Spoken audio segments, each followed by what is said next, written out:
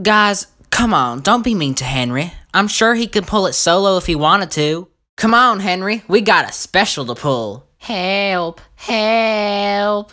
Thomas, this load is too heavy. Can you push it for me? Thomas, stop telling me what to do. You are a very bossy engine. Oh, thank you, Thomas. You are a useful engine after all. You silly trucks, stop singing. Trucks shall do as they are told. Oh, how I do love the smell of fish in the air. Hello, my name's Neville. Oh dear. What have I done to deserve this? Hello, my friends. How may I help you? Ah, very impressive. Aren't you a bit small to be pulling a passenger train? I want my money back. Give me a refund, you twat!